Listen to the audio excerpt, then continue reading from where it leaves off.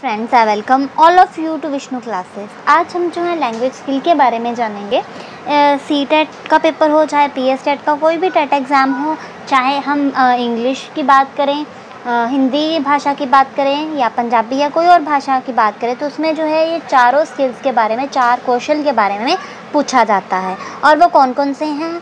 Listening speaking reading और writing इसको हमें जो है कई बार ऐसा भी क्वेश्चन आ सकता है कि इनको जो है क्रम वार या इंक्रीजिंग या डिक्रीजिंग ऑर्डर में लगाएँ। तो इसीलिए हमें जो है कैसे याद करना है इसे? एल एस आर डब्ल्यू ठीक है? क्या है? L S R W L से लिसनिंग एस से स्पीकिंग आर से रीडिंग और डब्ल्यू से राइटिंग बच्चा जो है वो पहले सुनता है, फिर धीरे धीरे जो है बोलता है, फिर जो उसने सुना है, जो उसने बोला है, उसको वो क्या करता है? पढ़ता है।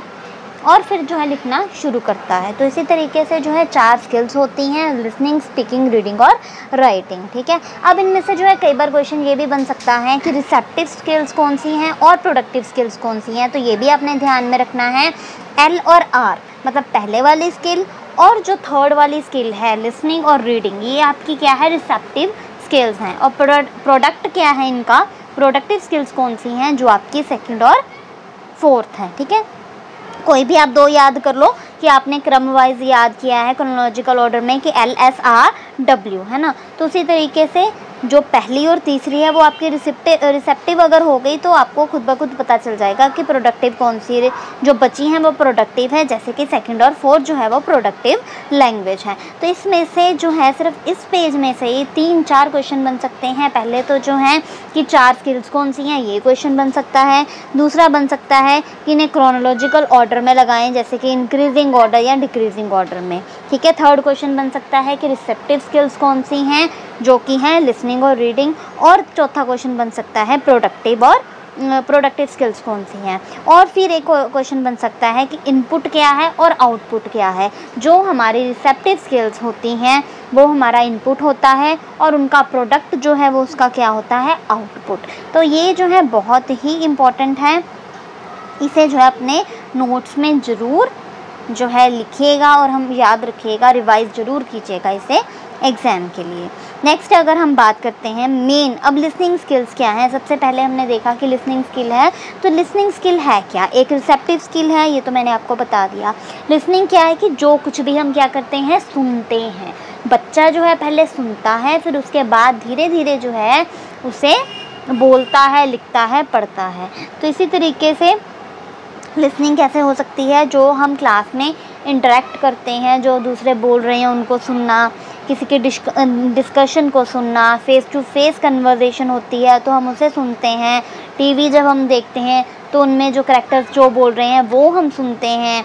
सरमन्स वगैरह जो मतलब कि रिलीजियस प्रीचर्स होते हैं, वो हमें जो समझाते हैं, उनको सुनना। ठीक है? नॉन इंटरेक्टिव जो है उसमें मतलब बोलने का चांस नहीं होता, उसमें सिर्फ़ सुनना ही होता है। तो हम अभी बात भी जो है लिसनिंग स्किल की कर रहे हैं। तो सुनने में जो है क्या आ सकता है कि डिस्कशन जो हो रही है उसे सुनना, किसी की कॉल अटेंड करना, ठीक है? टीवी को जब हम देखते हैं सरमन्स वगैरह, ये सारी हमारे लिसनिंग स्किल हैं। अब हमें जो है कैसे दूसरों को लिसनिंग के लिए टीच करना है कि कैसे आप देखते होंगे, आलस में जो है एल एस आर डब्ल्यू होता है तो उसमें लिसनिंग का भी जो एक पोर्शन होता है तो उसी तरीके से बिगनर्स को जो है, क्या कहा जाता है कि वो ज़्यादा से ज़्यादा सुने। जितना ज़्यादा सुनेंगे, उतनी उनकी वोकैब जो है वो इंक्रीज़ होगी। जितनी वोकेबलरी इंक्रीज़ होगी, उतना जो है वो फ्लुएंटली और ईज़िली बोल पाएँगे। धीरे धीरे जो है वो पहले सुनते हैं, फिर धीरे धीरे बोलना शुरू करते हैं, फिर जो है धीरे धीरे उनकी नेचुरल स्पीड जो है वो बन जाती है। पहले पहले क्या होता है, वो शॉर्टर सेंटेंसेस जो हैं यूज़ करते हैं। धीरे धीरे जो है पहले तो जो है वो पोज वगैरह देते हैं स्पीच में, उसकी लेंथ कम होती है नंबर कम होते हैं। धीरे धीरे जो है स्पीच बढ़ती जाती है जैसे जैसे हमारी जो है फ्लुएंसी उसमें बढ़ती जाती है। फिर उसके बाद क्या है reduce distractions and noises listening में क्या है कि अगर आप सुन रहे हो तो अगर कोई चीज़ आपको डिस्ट्रैक्ट कर रही है फॉर एग्ज़ाम्पल कि आसपास जो है आपके साउंड है और आप जो है सुन नहीं पा रहे हो तो वो भी जो है लिसनिंग प्रॉब्लम में आ जाता है। नॉइज़ होने के कारण कई बार जो है हमें प्रॉपर समझ में नहीं आ पाता, जितना कि हम जो है, अगर हम शांति में अकेले में बैठकर पढ़ें या सुने, ठीक है?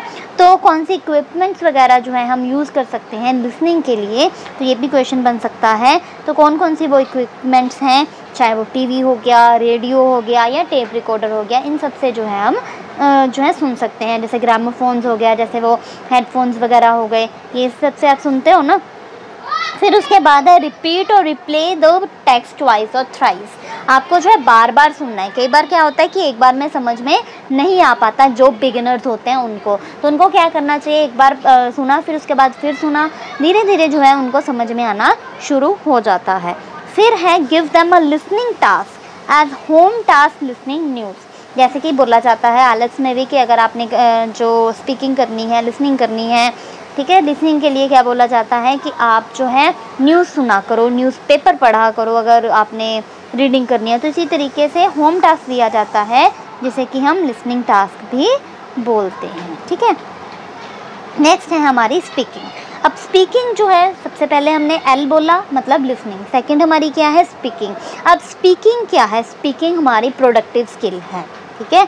ये तो आपको पता ही होना चाहिए। फिर इसमें जो है तीन तरह के होते हैं। कौन कौन से होते हैं? एक होते हैं इंटरेक्टिव एक होती है पार्शली इंटरेक्टिव और एक होती है नॉन इंटरएक्टिव और ये भी जो है आप समझ ही लीजिए एक तरह से या याद ही कर लीजिए क्योंकि ये भी पूछा जा सकता है। ठीक है?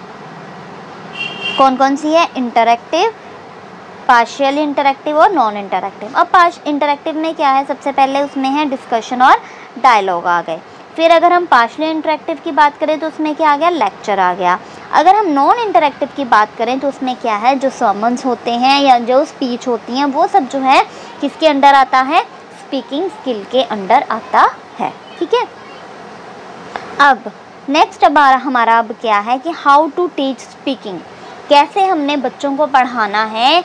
कि वो बोलें कैसे हमने उनको मोटिवेट करना है? तो सबसे पहले टीचर क्या करेगा? उनसे कम्युनिकेट करेगा उनसे बातचीत करेगा ताकि बच्चे जो हैं वो क्या कर सकें?